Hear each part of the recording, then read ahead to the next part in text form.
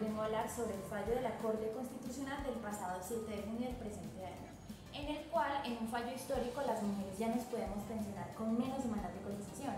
Antes nos pensionábamos con 57 años y 1.300 semanas. Actualmente, ya con este fallo nos podemos pensionar con la misma edad, pero con 1.000 semanas de cotización.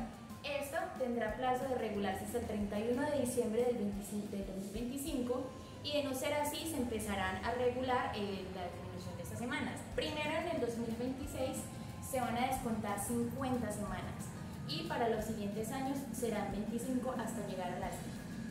Para más información sobre temas de seguridad social, no olvides suscribirte a nuestro canal y seguirnos